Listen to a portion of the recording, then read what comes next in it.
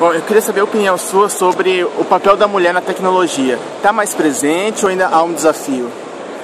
Eu acredito que está mais presente, que a gente pode perceber que participando de feiras, até aqui mesmo, as mulheres estão sempre estão querendo conhecer e estão ganhando mais espaço no mercado de trabalho, ah, não só pela, por elas terem uma maior paciência assim, para lidar com a informática, a gente precisa um pouco de paciência porque não depende da gente está dependendo de uma máquina, de certa forma.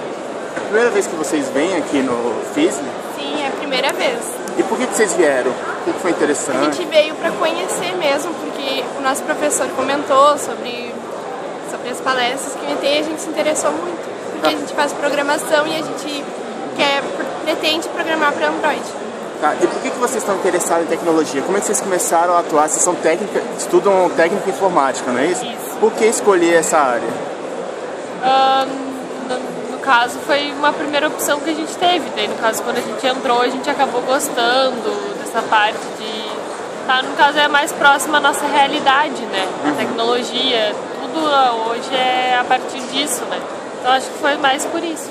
Vocês acham que não há muito preconceito nessa área em relação à mulher? No início, eu acho que sim, porque todos eram diziam que ah, é só homens e isso e aquela coisa, mas agora já está mais.